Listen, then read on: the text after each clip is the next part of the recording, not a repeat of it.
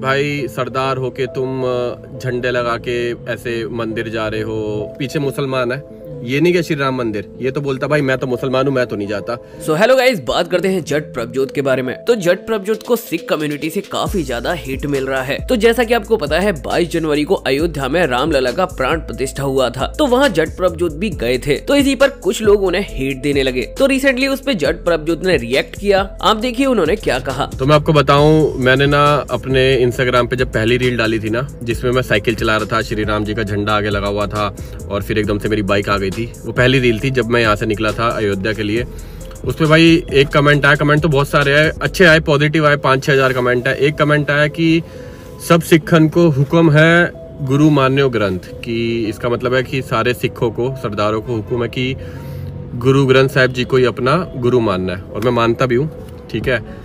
उसके नीचे रिप्लाई पता कितने हैं 200 से ऊपर उस कमेंट के नीचे रिप्लाई हैं और आधे से ज़्यादा पॉजिटिव है, लेकिन बीच में नेगेटिव भी है। नेगेटिव कमेंट आता है, फिर कोई उसका पॉजिटिव रिप्लाई करता है, फिर कोई उसको नेगेटिव करता है, फिर पॉजिटिव यही चल रहा है। और मैं पढ़ रहा था, मेरी आदत है यार, मैं अपने सारे कमेंट पढ़ता हूँ। इसके नीचे रिप्लाई है कि, भाई, सरदार होके तुम झंडे लगा के ऐसे मंदिर जा रहे हो और उसको प्रमोट कर रहे हो। कभी अपने रिलीजन को भी प्रमोट करा करो। भाई ऐसे ऐसे रिप्लाई ऐसे ऐसे रिप्लाई पहली चीज़ मैं आपको ये बता दूँ अगर ऐसा है ना कि प्रमोट करने की बात हो रही है, जब करतारपुर साहिब पाकिस्तान वाला गुरुद्वारे की बात कर रहा हूँ, जब खुला था ना, पहला दिन था, पहला दिन स्पेशल परमिशन लेके यहाँ वहाँ भागा दौड़ी करके पाकिस्तान का वीज़ा लगवा के मैं गया था।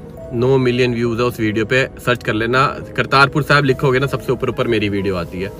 कोई नगर कीर्तन होता है गुरपुरब होता है तुम्हारा भाई वहाँ जाता है, लंगर की सेवा करता है और भी बहुत कुछ करते हैं वीडियो में नहीं दिखाते, गुरुद्वारे में जाता रहता हूँ।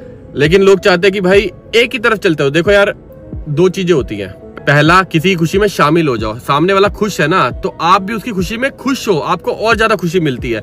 जब सब खुश है, भाई, राम मंदिर का इनोग्रेशन हो रहा है 500 साल हो गए, लगे हुए हैं, ये है, वो है।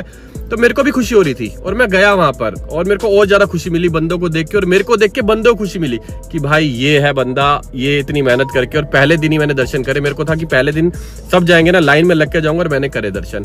मेरे को भी बहुत खुशी थी, सब लोगों को खुशी थी।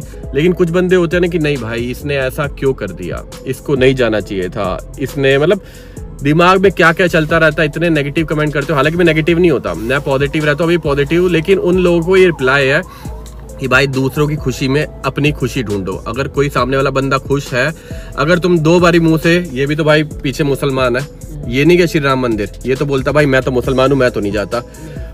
और कमेंट में पता क्या क्या लिख रहे हैं? कि भाई तुम्हारे इतने गुरुद्वारे तोड़ दिए, इतनी मस्जिद तोड़ दी, तुम तब भी जा रहे हो, ये है, वो है। भाई देखो, हम पॉलिटिक्स में नहीं पढ़ते कि बाहर क्या चल रहा है। अपना मन साफ़ है और गुरु ग्रंथ साहब में लिखा हुआ है, तुम भगवान को किसी भी रूप में देख सकते हो, किसी भी रूप में उसकी पूजा कर सकते हो, कोई मनाही नहीं है। गुरु ग्रंथ साहब में ये चीज़ लिखी हुई है, जिनको उसके बारे में नॉलेज है, उनको पता होगा। तो गाइज़ अब बात करते हैं, मैं काफ़ी दिन से वीडियोस क्यों नहीं डाल रहा था? तो बेसिकली काफ़ी सारे रीजंस थे, मेरी तबीयत भी खराब थी और एक दो प्रोजेक्ट्स में भी फंसा हुआ था मैं। साथ ही आपके लिए एक और सरप्राइज़ आने वाला है तो उसमें भी थोड़ा बिज़ी चल रहा हूँ मैं। तो यार, याद से चैनल को सब्सक्राइब करके रख लेना और नोटिफिकेशन बेल को ऑल पे सेट कर देना, क्योंकि कुछ बड़ा आने वाला है। सो गाइज़ वीडियो यहाँ तक देख रहे हो तो वीडियो को लाइक कर देना। मिलते हैं नेक्स्ट वीडियो में, तब तक टेक केयर।